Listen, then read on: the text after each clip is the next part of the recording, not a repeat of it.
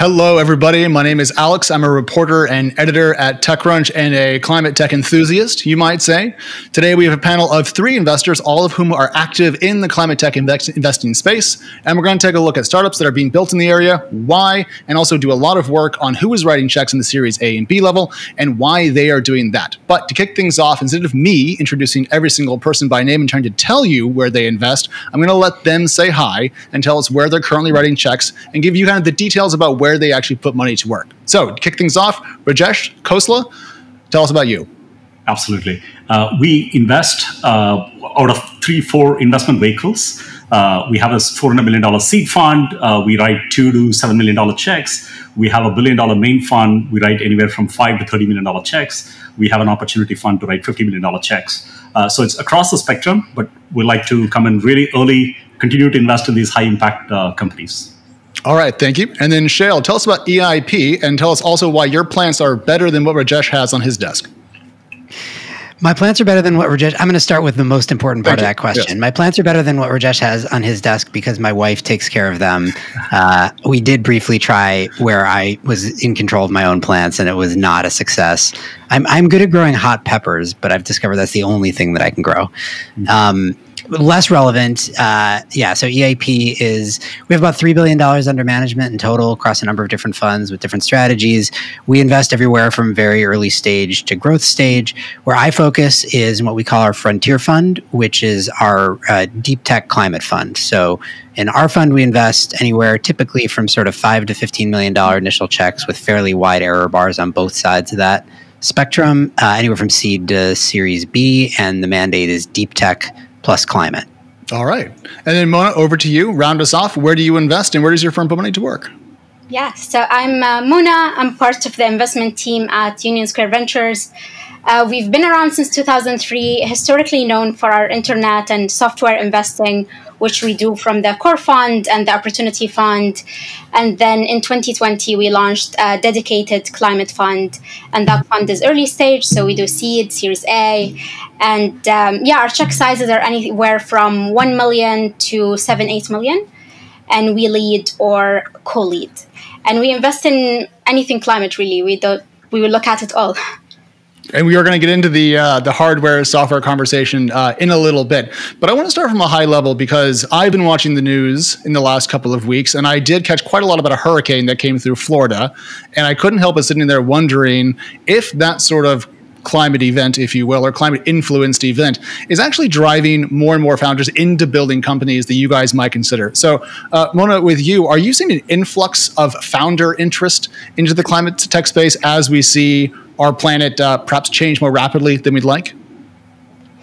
Yeah, absolutely. And I think at USV, because we invest in climate and non climate, so I could see the contrast in terms of talent flowing into different sectors. And certainly we see it way more in climate. Um, we keep track of, for example, the um, senior management team at our portfolio company, what they do after they leave. A lot of them, they say they want to go and build in climate.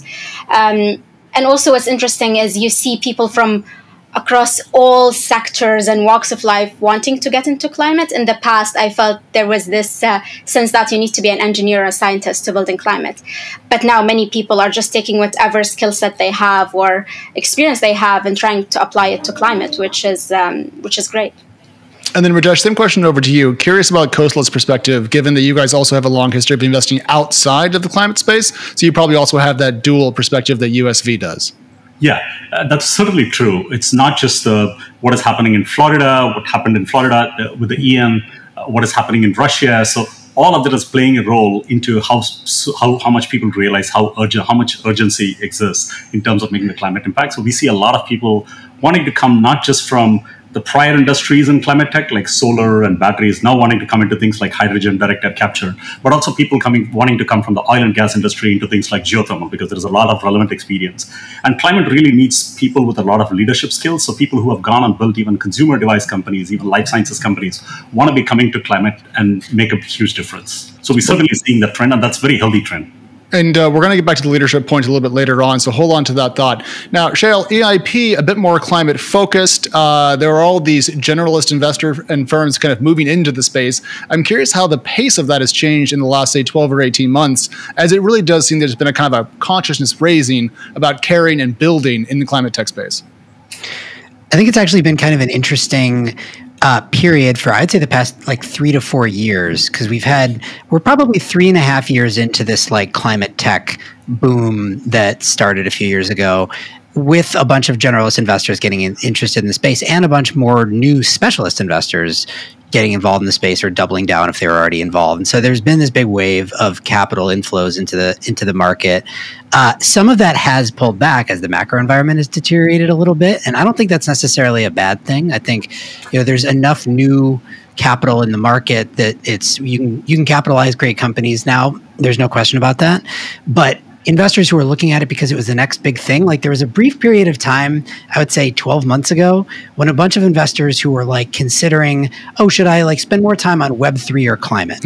right? Not to say well, that not each of those things don't have their own merits, but that was people who were considering it because it was a hot sector, not because of its merits that stand alone. So I think now we're back in this world where like people who are dedicating time and effort and capital to climate um, are putting in the time that it takes to really understand how this market is evolving. And I think that's generally speaking a good thing. Yeah, I don't find it kind of ironic that people might be weighing Web3 on one hand, thanks to proof of work, which can drive climate change, and then on the other hand, investing in climate. Um, Mona, USV has investments in both sides of that.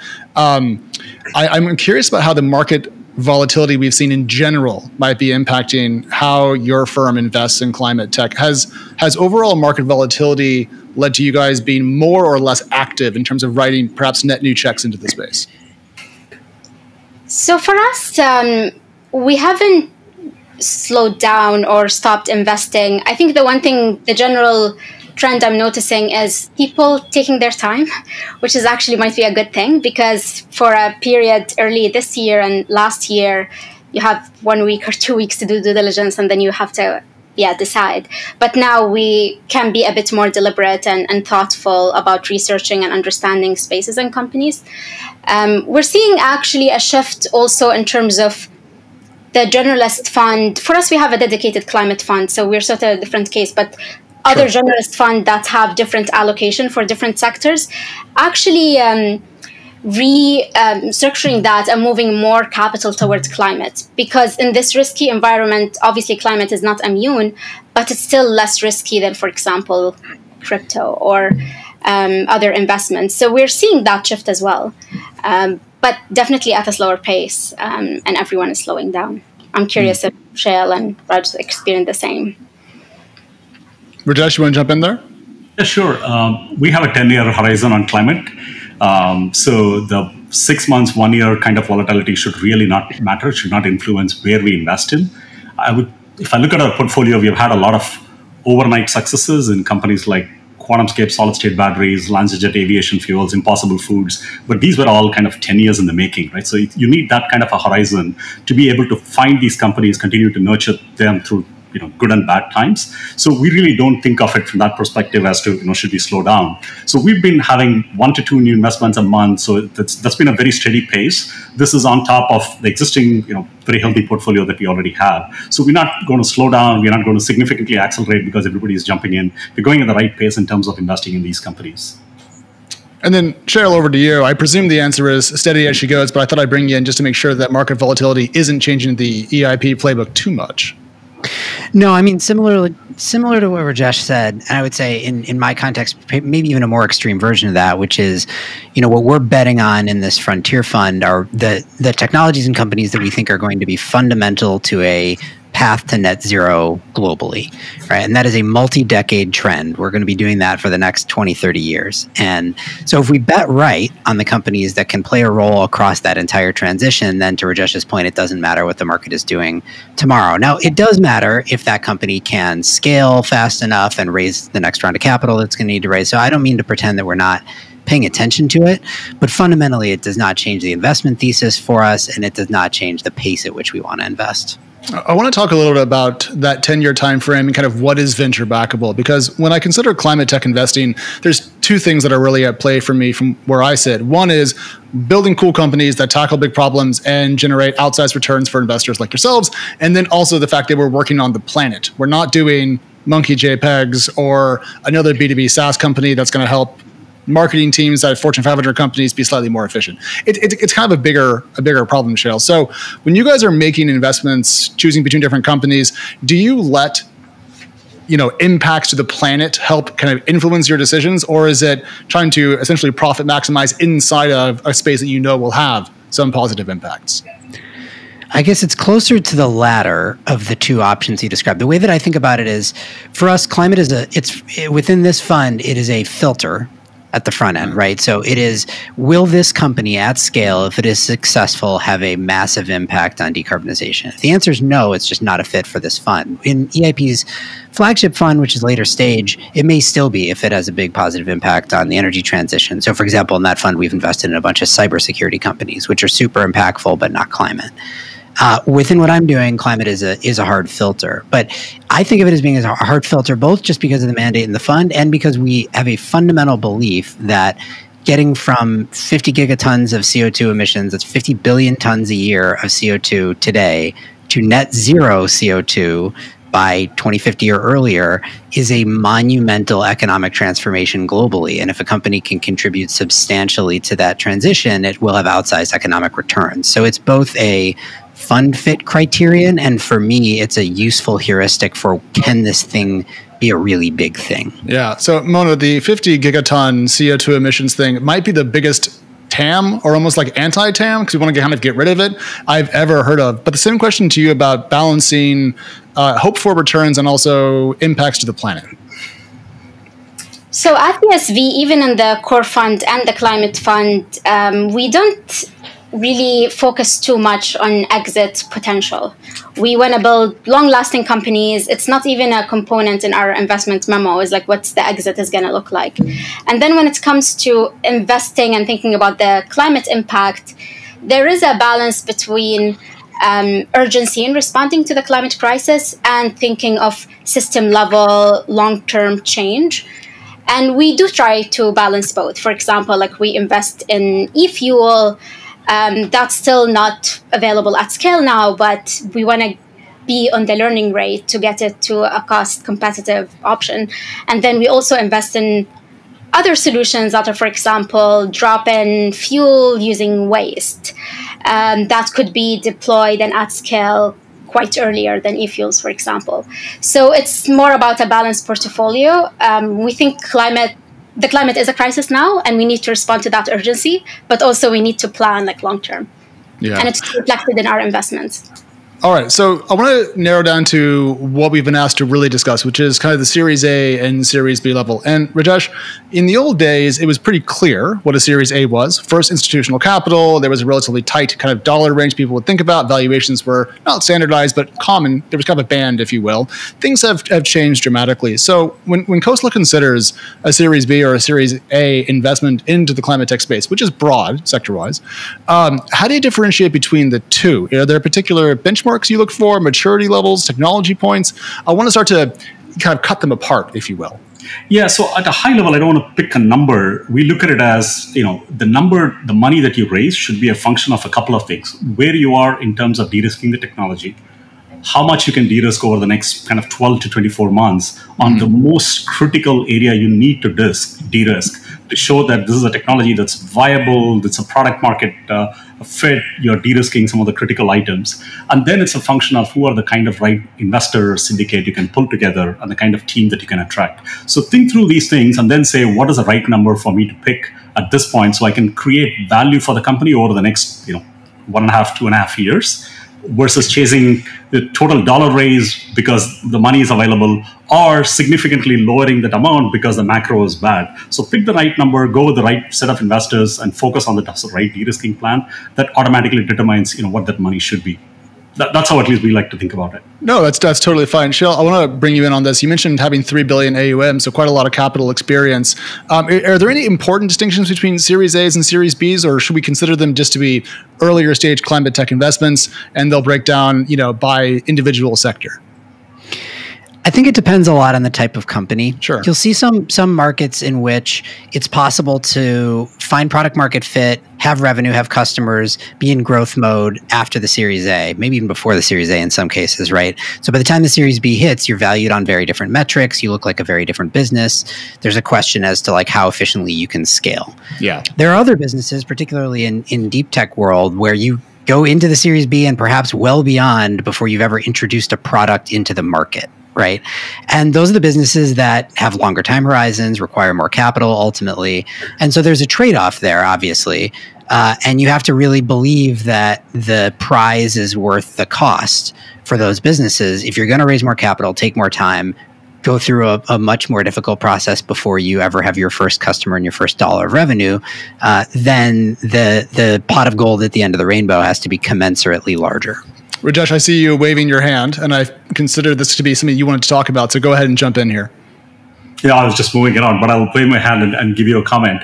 Uh, just give you an example of there was a company I was talking to. Uh, they never built even a prototype or tested at the beaker level, uh, but they were trying to raise a $50 million because they want to go and build a small plant to to de-risk the entire product. So that's the kind of difficult one you shouldn't be chasing because it forces you to focus on scale rather than de-risking the early stage stuff that you should be. So there, it makes sense in terms of what the small amount needs to be so you de-risk. Exactly to Shayle's point, it's a function of what that company is, what are you trying to de-risk, what market are you focusing on? There is a different number for different companies. Yeah. So to, to me, listening to this, it, it, feels like the differentiation between how rounds are set up may break down along kind of a hardware software axis because in, in the software world, tech risk is lower, I think, generally speaking. And those companies are relatively metricized. We all know how SaaS works. So it sounds like more on the on the climate, sorry, on the hardware side, uh, Mona, that it's a little bit squishier what's an A, what's a B, depending on the time horizon of the company in question and also the capital needs uh, thereof.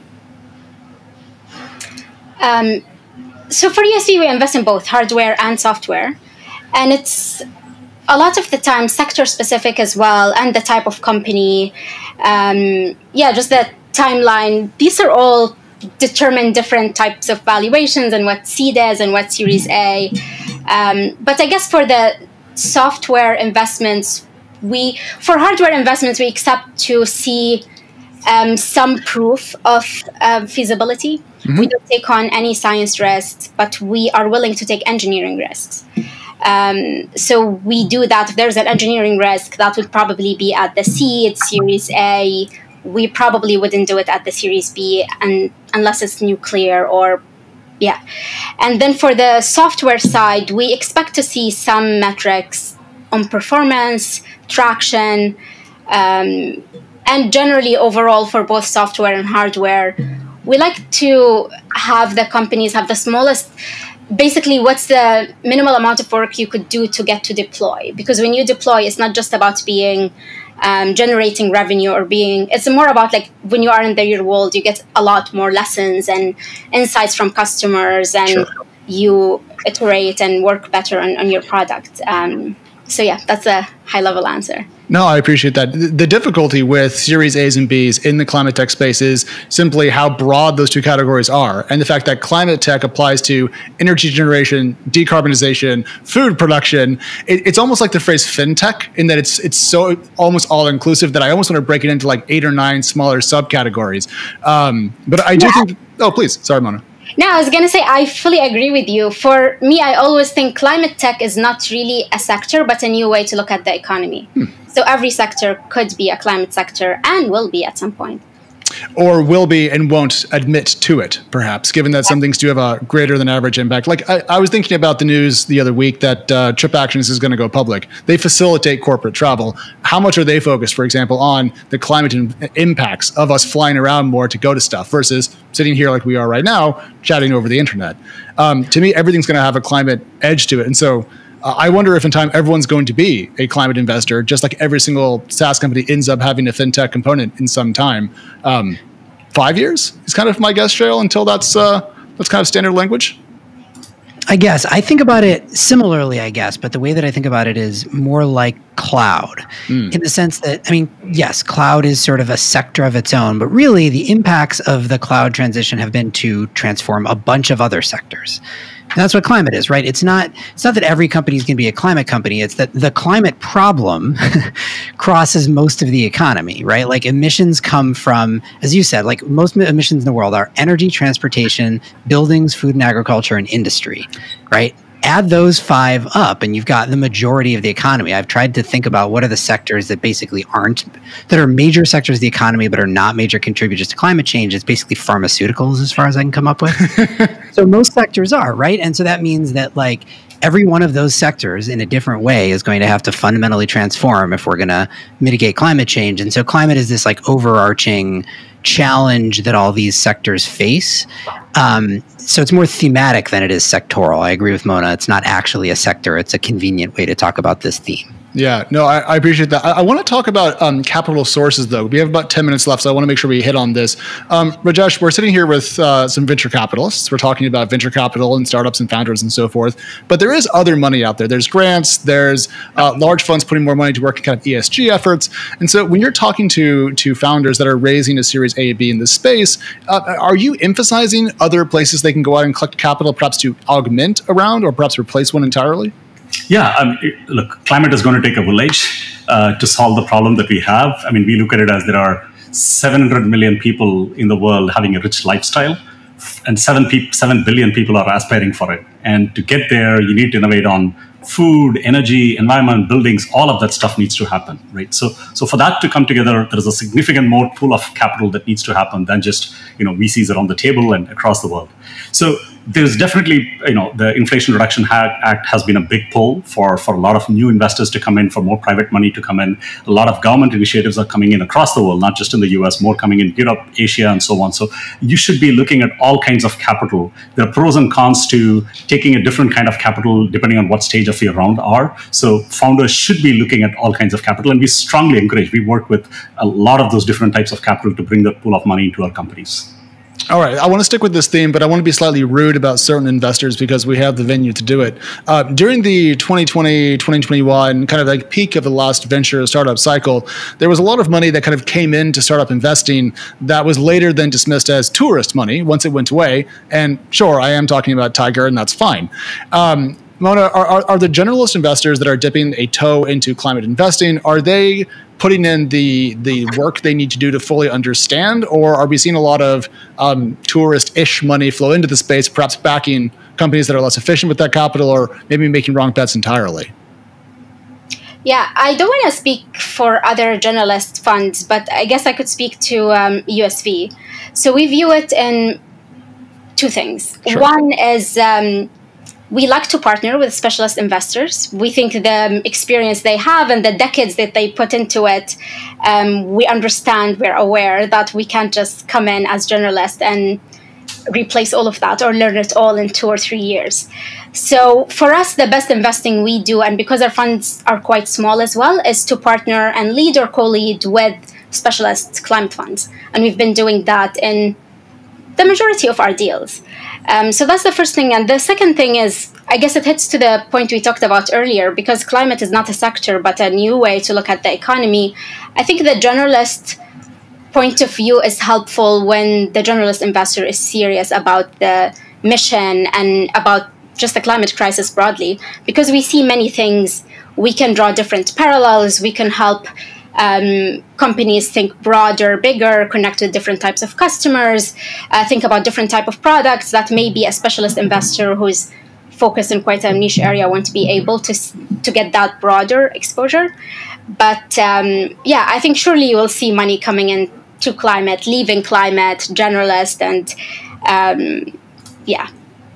No, I appreciate that. I want to get through a couple more quick things before we run out of time. Um, Rajesh, the university to founder pipeline. We talk about this in areas like artificial intelligence and a lot of other areas. Uh, I presume that there is a relatively robust pipeline of academics into the world of, of climate tech.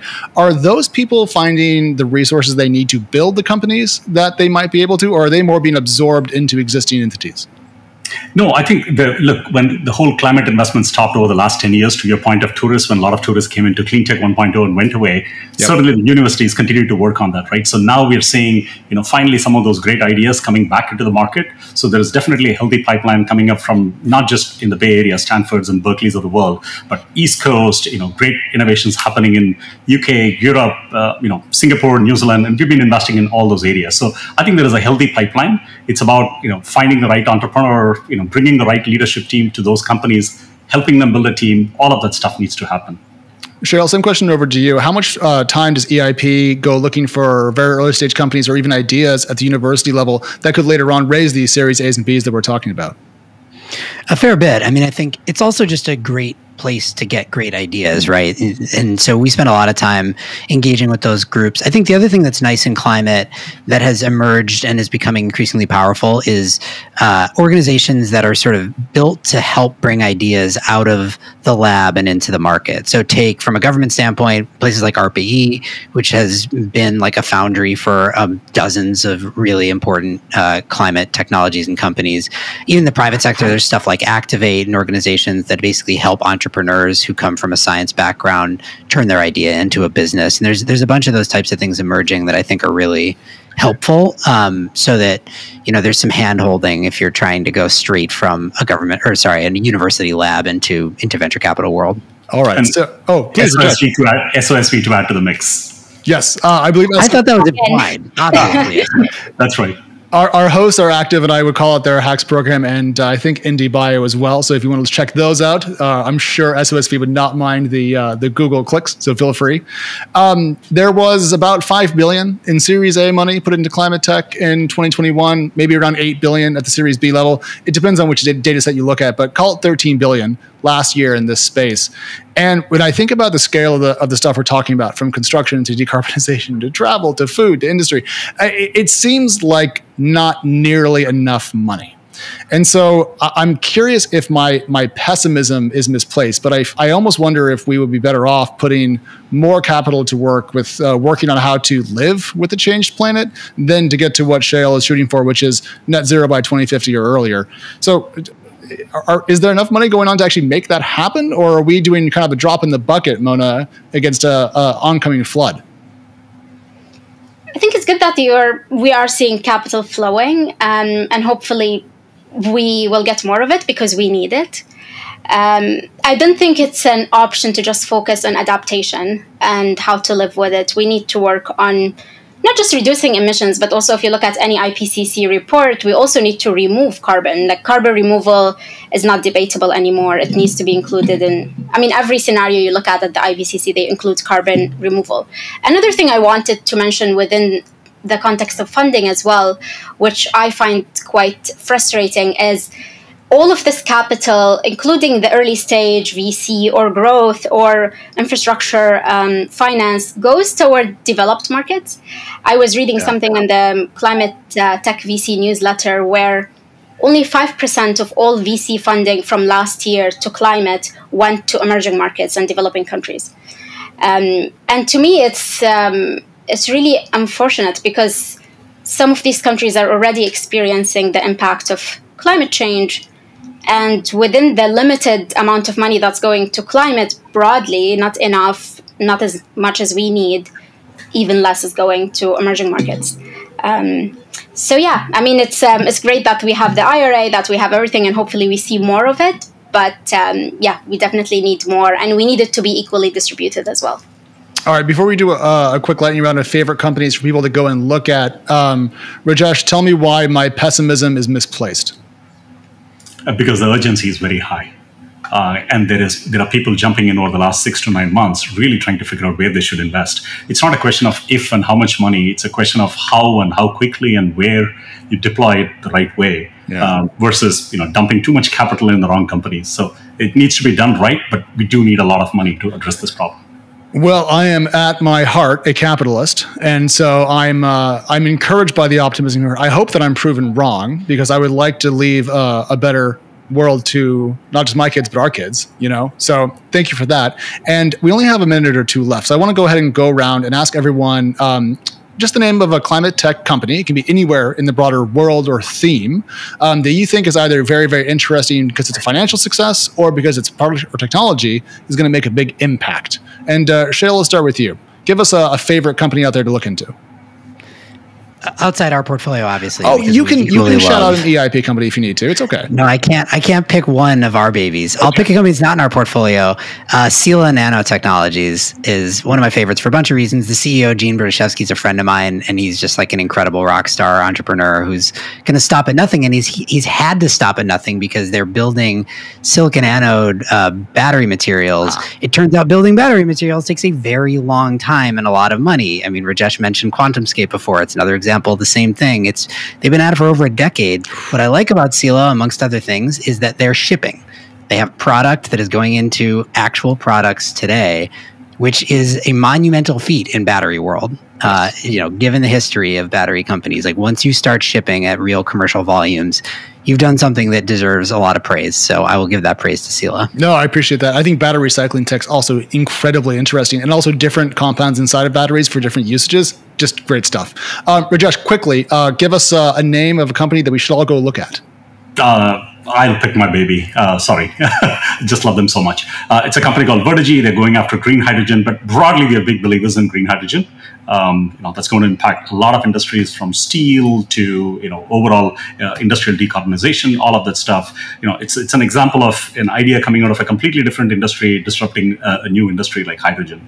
Totally love what they're doing, and I'm sure there are other good hydrogen companies as well. But it's a sector we love and a company we love. All right, thank you. And then Mona, last word from you. Uh, give us a favorite to send us out. Um, I'll stick with the theme of emerging markets and I will choose also one of um, USV companies. It's a company called Shift EV and they've developed a process they called electrofitting, which is uh, retrofitting delivery fleets to make them electric. And they are doing that. The first market they are starting with is uh, Egypt. And the idea is that EVs, if you look at the price of new EVs in developed markets, they are expensive, exactly. Um, while retrofitting um, the many of ex- existing fleets in emerging markets is a more viable option. That's also um, competitive if you compare it to ICE. So you're not only asking, um, you're not expecting consumers to pay a pre- premium, which they shouldn't in emerging markets, but then actually you're providing them with uh, the benefit and um, cost savings. So yeah, that's a our my pick for today. All right. Well, we have to stop, but I want to say that I am uh, much more optimistic than I came into this now, and that's very encouraging because the planet is uh, literally our home. So thank you all for taking part, answering my questions, and hanging out with everybody. And also, I hope that all of your investments make the world a better place, which is not usually how these chats go. So it's a lovely note to end on. And SOSV, thanks for having us. Thank you for a fun conversation. Thank you. Thanks a lot.